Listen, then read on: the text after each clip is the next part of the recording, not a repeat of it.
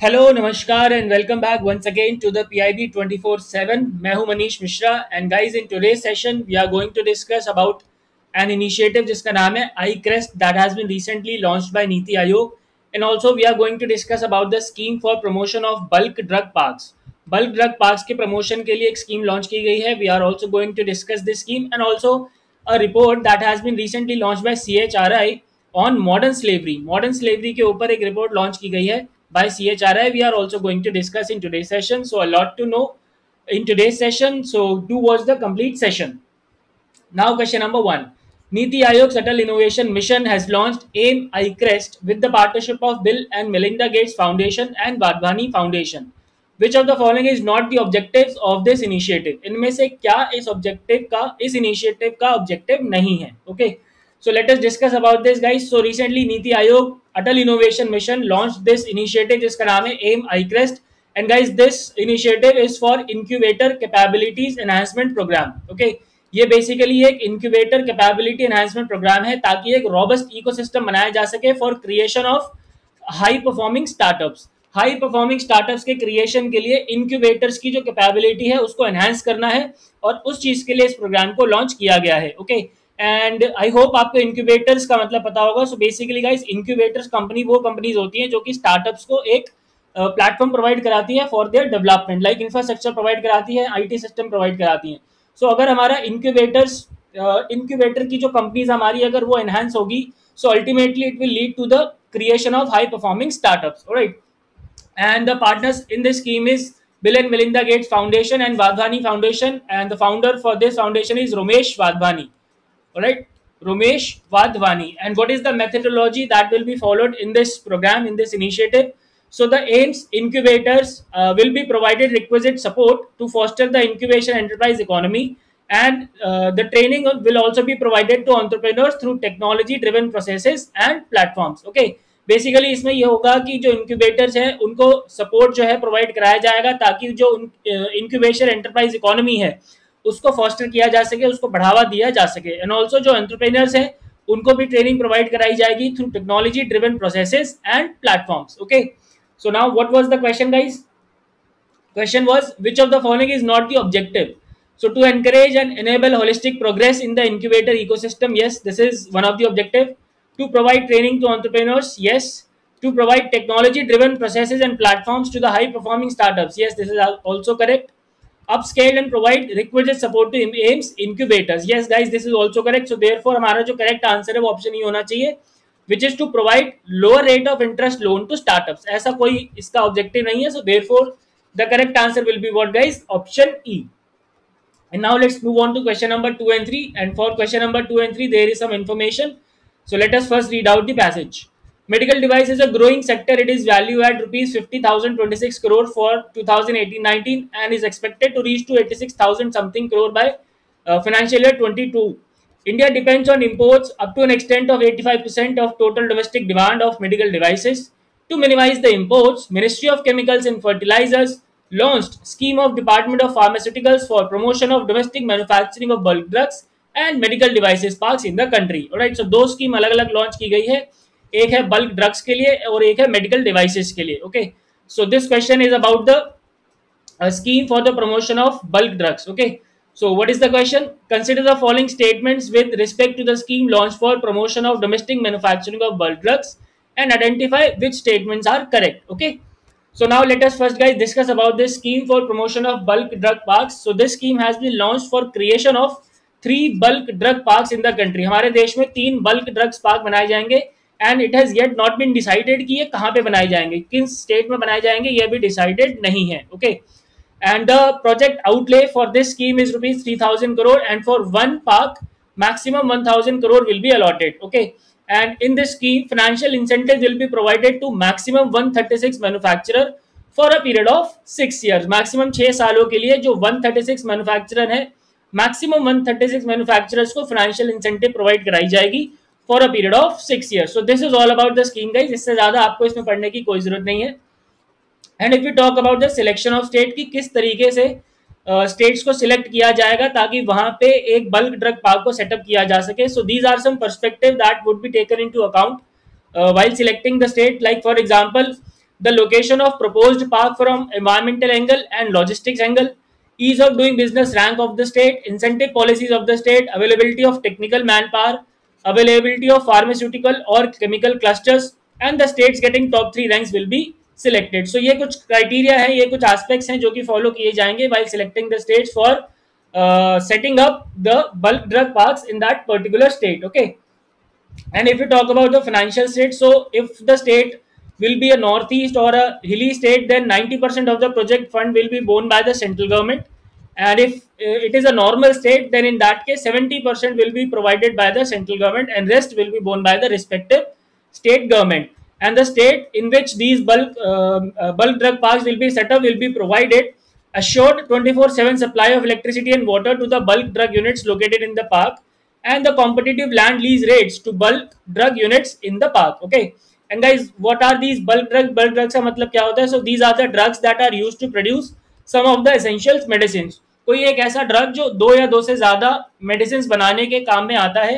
तो ऐसे ड्रग को हम क्या बोलते हैं गाइज़ बल्क ड्रग बोलते हैं okay and now let's move on to the question number two which is about this scheme and question is which of the following which option is having the correct statement okay इनमें से हमें correct statement बतानी है। The scheme envisages is the creation of four bulk drug park in the country no it is three तीन bulk drug park बनाए जाएँगे so this statement is incorrect the total financial outlay of the scheme is 4000 crore no it is 3000 crore this is also incorrect and the incentives would be given for a period of five years no guys it is for six years incentive छह सालों के लिए दिया जाएगा सो so ये statement भी हमारा incorrect है विच मीन्स जो हमारा सही जवाब होगा that will be option E all are incorrect and now let's move on to question number three consider the following statement with respect to the scheme launched for promote, uh, promotion of medical devices manufacturing production linked incentive okay? ये एक medical uh, device की जो manufacturing है उसको promote करने के लिए एक इंसेंटिव uh, स्कीम uh, है जिसका नाम है प्रोडक्शन लिंक्ड इंसेंटिव। सो हमें बताना है कि इन स्टेटमेंट में से कौन से स्टेटमेंट करेक्ट है about the scheme okay? So now latest first discuss about the scheme guys so this scheme has been launch to boost the domestic manufacturing of medical devices in the four segments. And what are these four segments? These are cancer care और radiotherapy medical devices radiology and imaging medical devices and nuclear imaging devices, anesthetics and cardiorespiratory medical devices and all implants including implantable electronic devices so in चार target segments के जो medical devices manufacturers हैं, उनको production linked incentive provide कराया जाएगा guys under this scheme okay and this duration for this scheme is five years basically financial incentive provide कराया जाएगा पाँच साल के लिए to a maximum number of twenty eight selected applicants with a total outlay of three four two zero crore तीन हज़ार चार सौ बीस इसका टोटल आउटले है and the rate of incentives will be 5% of the sales of domestically manufactured medical devices. And of course guys इसमें केवल वही कंपनी एलिजिबल होंगी जिनका नेट वर्थ जो है 18 करोड़ या उससे ज़्यादा है। Okay okay? सारी कंपनीज़ इसमें एलिजिबल नहीं होंगी। ऐसा नहीं होगा कि कोई भी जाके एप्लीकेशन फ़ाइल कर दे। ओनली दोज कंपनी जिनका टर्नओवर 18 करोड़ से ज़्यादा है only they can Apply for the production linked incentive okay and now let's move on to the question So the question is, uh, which we have to find the correct statement. So statement one is, it will boost domestic manufacturing of medical devices in four target segments. Yes, this is absolutely correct. Financial incentives on sale for a period of five years will be given. Yes, पांच सालों के लिए दिया जाएगा. And the total financial outlay of the scheme is 3420 crore. Yes, this is also correct. So therefore, guys, जो हमारा correct answer होगा, that will be option D. All are correct. Now let's move on to question number four and five. And again, a passage is given for that. So let us first read out the passage. Under SDG target 8.7, governments have committed to uh, take immediate and effective measures to eradicate forced labor and modern slavery and human trafficking and secure the prohibition and elimination of the worst forms of child labor, including recruitment and use of child soldiers and by 2025 end child labor in all its forms. Okay and the recently CHI, CHRI, which stands for Commonwealth Human Rights Initiative, and another organization जिसका नाम है Walk Free released a report on slavery on the occasion of World Day Against Trafficking in Person that is on 30th July. So question number four is about that report only. So the question is, according to the report, Commonwealth countries accounts for about dash living in conditions of modern slavery in the world. जितने भी Commonwealth countries हैं, उसमें लगभग कितने लोग ऐसे हैं जो कि मॉडर्न स्लेवरी के की कंडीशन में रह रहे हैं? And guys there are forty fifty four countries in the Commonwealth group of nation and fifty fourth was Maldives okay fifty fourth was Maldives right so now let's first discuss about this report recently Commonwealth human right initiative and Walk Free release the report which is on modern slavery and this report assessed the progress made by the commonwealth countries on the promises that was made in 2018 to end modern slavery by the year 2030 and to achieve the sustainable development goal target 8.7 of ending forced labor human trafficking and child labor so, इस रास्ते में इस तरफ़ in Commonwealth countries ने क्या progress किया है उस प्रोग्रेस को असेस करने के लिए उस प्रोग्रेस को मैप करने के लिए this report was release and what are the key findings so if you talk about the global status so commonwealth countries account for about 40% of the people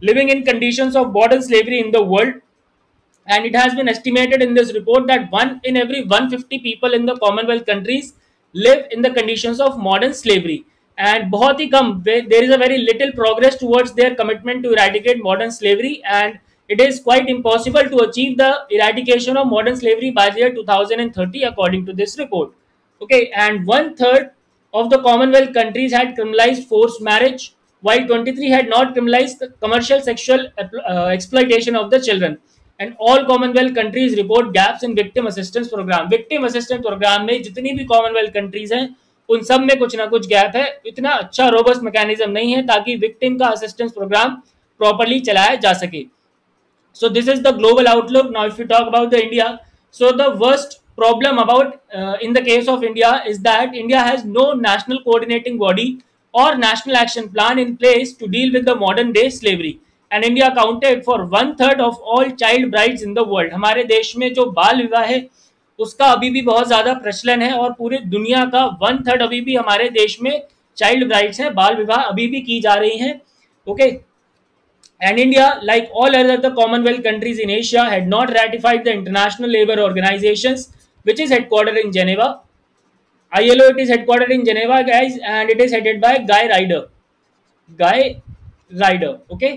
So so, India ने भी ILO का जो 2011 domestic workers convention था या फिर 2014 का force labour protocol था उसको राइटिफाई नहीं किया है like the other Commonwealth countries in Asia okay So this is very this is a major concern for all of us हमें इस पे ध्यान देना चाहिए and guys what is modern slavery so guys modern slavery का मतलब होता है it includes debt bondage where a person is force to work for free to pay off a debt or the child slavery or the forced marriage, domestic servitude and forced labor where victims are made to work through violence and intimidation. So all these categories are covered under the modern forms of slavery in today's world.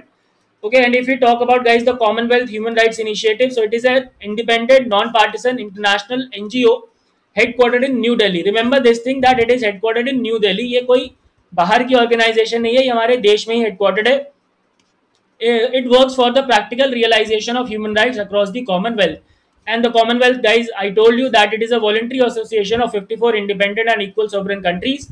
And the 54th one was Maldives, जो कि recently February 2020 में उसने अपने आप को दोबारा से मतलब एक्चुअली वो मॉलडीव्स ने जो था, अपने आप को कॉमनवेल्थ की ग्रुप से बाहर कर लिया था, उसने फिर दोबारा से ज्वाइन कर लिया in this year in the month of February okay so now guys let's move on to the question number four and five so question is what according to the report Commonwealth countries account for about dash percent living in condition of modern slavery in the world so it is option A forty percent of the people अभी भी Commonwealth countries में ऐसे हैं जो कि modern slavery की condition में अपना जीवन काट रहे हैं। And if you talk about question number five, so question number five is what? What is modern slavery? Modern slavery के बारे में पूछा है तो options are slavery as punishment no, slavery to pay debts yes, option B will be the correct answer and बाकी options भी पढ़ लेते हैं. enslavement of prisoners of war no kidnap people and sell for money no and slavery in exchange for drugs no so option b is the correct answer to this question okay and guys that's it for the session today i hope you like it for more updates do subscribe our channel and press the bell icon आपको ये session कैसा लगा please comment करके ज़रूर बताएँ। And guys please comment ज़रूर करा करो। कमेंट बहुत कम मिलते हैं। लास्ट सेशन में फ्राइडे वाला जो सेशन था, उसमें मैंने हमेशा आपको कहा है कि मार्क्स कमेंट किया करो but I received I got only five comments okay केवल फाइव स्टूडेंट्स ऐसे थे जिन्होंने उसको कमेंट किया and more than thousand views were there so this is inappropriate guys so please do comment your marks and also आपको session कैसा लगा, वो भी कमेंट करके ज़रूर बताएँ। Thank you so much for watching goodbye take care and God bless